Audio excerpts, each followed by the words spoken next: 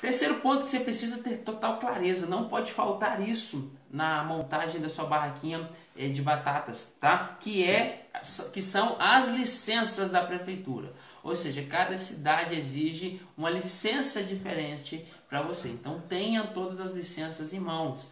Porque para você evitar que o governo chegue lá com aquela covardia maligna que às vezes eles têm e tome sua barraquinha, é, te multe, te impeça de trabalhar, é, prenda seus equipamentos, seus, seus maquinários ali, é, você perca a oportunidade de legalizar dali para frente. Então, então, as licenças são algo que você não pode dar mole de fazer. Independente se é barraquinha ou qualquer outro conceito estrutural, você ter as licenças corretas é, são vitais para isso aí.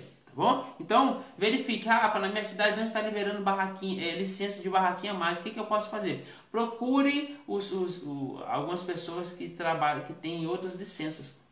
Você pode é, ter licença de extensão. O que, que é uma licença de extensão? O cara já tem uma barraquinha ali e ele tem tipo duas barracas, certo? Ou ele, você pode pegar como se ele estivesse abrindo mais uma barraca você trabalha com licença dele. Você paga, tipo um aluguel que você vai pagar na extensão dessa, dessa licença do cara ali, então você tem que ter essa oportunidade. Verifique as pessoas que já estão em atividade ou pararam as atividades ou estão de recesso com as atividades e busque essas oportunidades aí para poder é, comprar essa licença e colocar o seu negócio em, em ação. Então as licenças elas são obrigatórias para vocês trabalharem, tá bom? Peguem as licenças. Sem isso gera dificuldade. A gente trabalha ainda com um governo muito covarde, entendeu? É, e eles acabam tomando é, as barraquinhas de algumas pessoas, então não, não assumo o risco. Ah, falando que na minha cidade não tem isso, todo mundo consegue trabalhar. Ah, então tá tudo certo, não, não entendo que é um problema não, tá bom?